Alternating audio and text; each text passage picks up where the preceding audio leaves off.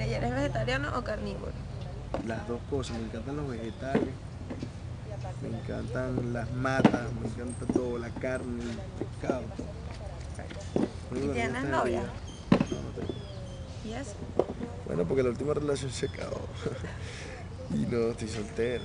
Ah, soltero y sin compromiso y disponible. pues. No, sin compromiso. Mira, ¿y te gusta McDonald's? Sí, pero yo estoy ladillado. A veces las papitas que me gustan, que me provocan. ¿Te gusta el teatro? Sí, me gusta. Ir al teatro. ¿A cuál vas? Puede ser a 8. Voy a, al de Paseo de las Manzanas, ¿cómo se llama? Las 8. Mira, ¿y con cuántas personas has tirado en tu vida? Qué de pinga, juro. Me voy a prender un cigarro, para, mira, yo te voy a decir una vaina. Este, o sea, es chévere, me encantan todas esas preguntas, pero ¿cómo yo puedo decir la verdad? Hazlo divertido, ok. Ay, gracias. Es sumamente divertido, Ya para. lo pusiste, ah. Tú sabes que yo cuando estaba en el colegio había un pana que era burda de radical. Yo le decía a él que era terrorista. Y en el salón, sea, del, del grupo en general, de todos los alumnos, había poca, poco porcentaje de, ese, de esos terroristas, ¿no? Y terroristas eran los que compraban Urbe, Bikini- eh, Urbe, que era el, el periódico, y eso, pero era adicto al urbe. Y le decía, chamo, ¿qué lees ahí? Puras vainas raras, locas y tal. Y después me puse a leerlo y es súper de pinga porque son muy claros, pana, que es de pinga. Pero no huyas de la pregunta, ¿con cuántas has tirado? ¿O con cuántas personas? No, más o menos ahí. ¿eh? No sé, coño, no sé, como sí. No te estoy. Ay, tú eres mentiroso. Le pones 100, ¿vale? No, no sé, porque entonces después tú dices algo que más o menos se asemeja a una realidad y dices, verga, este sí es mogonero, vale. No, pero. No, como dos, ¿Qué? en serio. ¿Dos No, no, no, personas? no, en serio, como siete personas. Vamos a creer. En serio. ¿Alguna fantasía sexual? Yo soy un hombre que ha durado mucho con mis novios. ¿Y alguna fantasía sexual? Ya la cumplí. ¿Cuál era? Está con un culito que me gustaba, vale. No, vale, mentira. Una fantasía sexual, es, pa- por lo menos a los hombres, dos mujeres me fascina. Y la cumplí. No, todavía no. No has hecho ningún trick.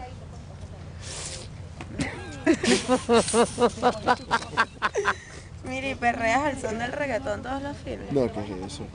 No perreas. No. Bailo un ratico y tal, pero yo es que es una cosa loca. A mí se me mete como, no sé, una vaina rara. Con el reggaetón. Sí. ¿Qué se te mete? Coño, estás prendido en una discoteca.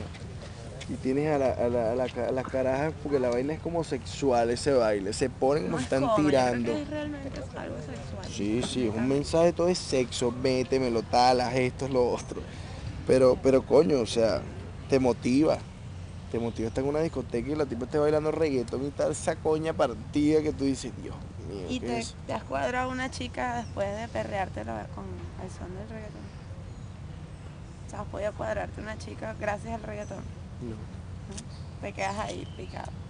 No, no, pero no gracias al reggaetón, porque el agradecimiento al reggaetón, ¿qué es, pana? Bueno, tú estás diciendo que te pone ahí, que No, todo coño, sexual, porque- que te... No, que hay, hay momentos donde me lo he disfrutado, pana, porque veo las tipas, coño, todo el mundo como que se vuelve loco y tú gozas una bola, pero no gracias al reggaetón es que me cuadra la tipa. Si me gusta la tipa, bueno, se ve qué pasa. Ok. Pero no te No me, molestes. no me ha pasado, no, soy muy serio. Mira, ¿y tu trago? ¿Y tu trago favorito? ¿Mi qué? Trago. Mi trago favorito, me encanta el martini. Mm, exquisito. ¿Y a qué edad fue tu primera rasca? Coño, mi primera peda fue por culpa de una tipa que me gustaba en la playa. Entonces yo era muy deportista. Yo surfeaba todos los días, me paraba muy temprano, me acostaba muy temprano y siempre íbamos para la casa de la playa, tenía yo como 14 años. Y entonces después que terminaba de surfear la noche me ponía a pescar y después me iba a acostar a dormir.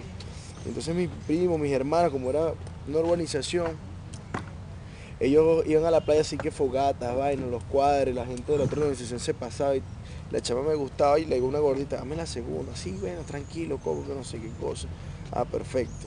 Bueno, a los dos días ya estaba todo listo. Mira que sí, que ah, tienes que ir tú. Y yo, verga, yo siempre he sido muy tímido para el primer momento. Ya después tú me dejas y yo, eso es como, como un en aire. Agarras. Bueno, total del cuento que agarro yo y entonces me acerco a la tipa y empiezo típica película romántica y vengo camino toda la playa como tres kilómetros y no le dije un coño. Y dije, bueno, de regreso agarro aire. Y cuando llegué, no, y todo chévere, sí. mm, qué bonito está el cielo, ¿no? Sí. Coño, mira, que de pinga burda estrella. Mira, ¿y tú te vas cuándo? No, me voy el domingo. Ah, está bien. ¿Qué era lo que te iba a decir yo? Nunca le dije nada. Bueno, total que llegué a la casa, el primer mío se la agarró. Agarró una rechera y dije, así es la vaina, tengo que fumar y tengo que beber. Y me senté al día siguiente a beber, me acuerdo yo, eh, Ginebra, sentado, me tomé un vaso y le agarré una pega que no tenés idea. Si es la peor pega de mi vida, más nunca tomé primera Ginebra. Y bueno, y ahí empecé a fumar hasta el sol de hoy, no para fumar. Mira, ¿y tú cuándo perdiste la virginidad? A los 18. Y no te sobrecargas de problemas porque tienes tu vida personal de Manuel Sosa y tus personajes también te meten en un culebrón, no te sobrecargas de problemas. O no te confundes así que verga tal pegado, no mentir, esa es la novela. No, lógicamente todos nos sobrecargamos. no, yo que soy una persona que no casi nunca hablo mis cosas, ¿no? Como por ejemplo una escena me, me sentí que me salió mal y, y drené allá como, como 20 minutos y se paró la cosa porque no podía parar. Pero, pero, pero yo creo que, que todos nos sobrecargamos. No solo el estrés, la responsabilidad, los problemas que tengas en tu casa, las cosas que tienes que resolver. Hoy choqué el carro, se espicharon dos cauchos, volví a montar los cauchos y lo que vengo bajando se volvió a espichar otro, se rompió el celular, la escena no salía bien. Todo un problema, pues. No, tuvo un problema, no, tuvo un buen día. ¿Y estás de acuerdo con los Mister, los Mister Venezuela? Porque yo me voy a meter en peo hoy, vale. No, ¿qué opinas tú de esos certámenes de belleza? Pienso que si lo hicieran un poco más natural todo fuera mejor. Tanto con las chicas como con los chicos. O sea, no puede existir un Mister Venezuela con pelo. No, en serio, o sea, un natural, mira, pana, o sea, claro, también. mira, o sea, yo soy Mister Venezuela y no me pongo bikini, sino me pongo unos chores. Y es, Mister porque la idea está papeado, o un Mister Venezuela gordito, tipo pues. apuesto, ¿Me entiendes? Que tenga cara chévere o una actitud y una energía. y El tipo ganó porque el tipo es ¿Y arrecho. te meterías a un Mister Venezuela si, fuera- te dejan si- peludo? No, si fuera así de natural y chévere, sí me metería. ¿Sí? Claro, vale, porque voy a conocer cualquier cantidad de personajes ahí. Ok. ¿Y el tamaño importa? Porque es el señor Venezuela. La cosa no es eh, eh, eh, Mr. Belleza. Mira, ¿y el tamaño importa? No sé. ¿De qué estás hablando? El tamaño de tu miembro. Coño, yo creo que sí importa. Hasta el momento yo creo que sí importa. Bueno, aunque siempre me O sea, han que dicho por mientras ahí. más grande no, mejor. ¿o? No, no, tampoco una exagerada, pero yo creo que, que, que sí importa que no tanto, no tanto tan largo, sino el. Este es marico. ¿vale? sí importa el tamaño, sí importa el tamaño. Y eres He escuchado eh, eh, de varias personas que no, no está el tamaño, cómo se mueve. ¿Cómo. Que no se te pare, pues, que coño va a decir cómo te mueve. Coño de pana. Mira, ¿y eres malcriado? A veces, ¿Quién te pone malcriado? cuando las cosas no salen bien y no se hacen bien. De lo que yo te dije. Ok.